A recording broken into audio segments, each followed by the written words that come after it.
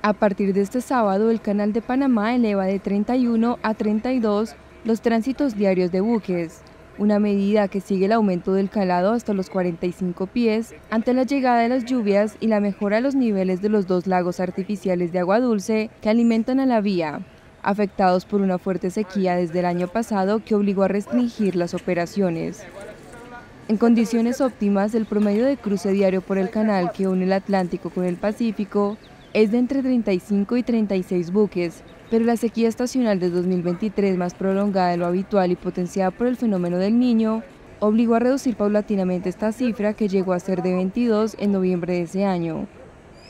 El canal explicó que desde el pasado 26 de mayo, por primera vez en lo que va del 2024, los embalses Gatún y Alajuela amanecieron por encima del nivel registrado para la fecha en el 2023, debido a la llegada de la temporada lluviosa. La vía cuántica panameña presta servicios a más de 180 rutas marítimas, conectando 170 países y llegando a 1.920 puertos en todo el mundo.